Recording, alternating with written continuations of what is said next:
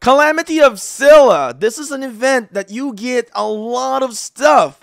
Now, granted, you have to make two purchases first. You have to purchase this first tier here, which is going to be about $5. And then you have to purchase the next one in here, which is going to be $15 and it will unlock some of the rewards in here for you once you've achieved certain level. But in the very early stage, you are going to be able to get, once you've unlocked this, you're going to be able to get the Asim Rich data card.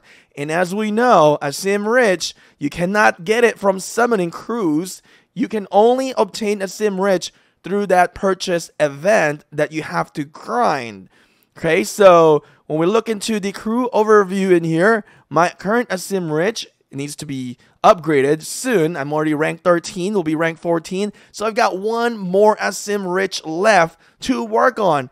Isn't that crazy? I'll be able to max out Asim Rich in the next Galaxy Star. I'm going ham for it. So this event is really vital for players who are going to be working on Asim Rich. But also, you're going to be getting some amazing rewards as well because in the ranking rewards, you can get some frames and avatars. That's that's cool. But the biggest thing that you can get is some outfitting blueprint chests, which is going to help you to gear up your legendary weapons or maybe defense. I, I suggest work on weapons rather than defense. And then in the Cross Nebula ranking rewards, you're going to get this skin. So if you've used them already in Cosmic Ocean, you can get them again. And plus, solid 20 blueprint gear that you can use to make your account stronger. Now, granted that I just said earlier, you need to make purchase. This is not for free to play. Free to play that does not spend zero dollar. This is not for you. This is for players who is willing to spend $20 for this event because you can grind this out without even making purchases. So for whales, it's definitely going to be easy for them to grind out and rank up to the top. But here's one thing I want to tell you. You don't have to focus on ranking into the top 10 or something.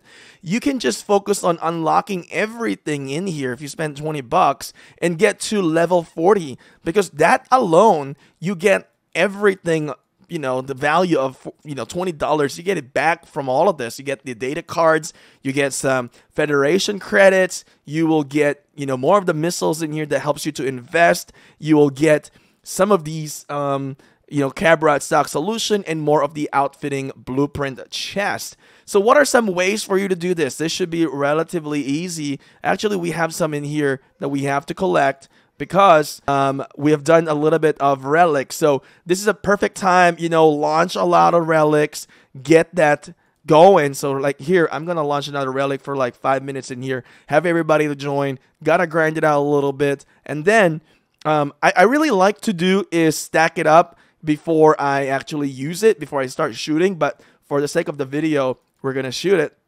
There we go. And I'm gonna make this purchase because I know I want this. There we go. We're making that purchase. We're going to try to rank up a little bit in here. Now, again, there is a way for you to um, purchase, you know, the missiles in here. So by going to the specials in here, you can of course make some purchase. It really depends on your budget. So, you know, spend wisely, spend as you enjoy in the game. Just remember when you spend into the game, you are, you know, helping the developers by doing that and you're helping the game to grow further as well. So I will probably make a few purchases from that, but for the most part, you know, I'm just gonna try to grind it out. And hell, I mean, you get some core module chips here. You're gonna get some corium eventually, some speed ups as well, some um, crew XP, more core module chips. Actually, not a lot of core module chips, but you know, you get some corium. Uh, the biggest thing in here is the Cabrat stock solution and then crew XP. And of course, really, I'm doing this to at least target all the Asim Rich data cards because I want to get them. And eventually, you'll get more of this, you know, blueprint stuff as well. And really, the big kicker is, you know, like I said, these Cabrat stock solution, they help a lot in in making those gears. So with that being said, guys, thank you guys for watching. I'll see you guys again next time. Hopefully this is helpful. I hope that you guys can finish it. And uh, let me know because in the previous events, you know, we have done this. What was the highest level you've reached in the Calamity of Scylla?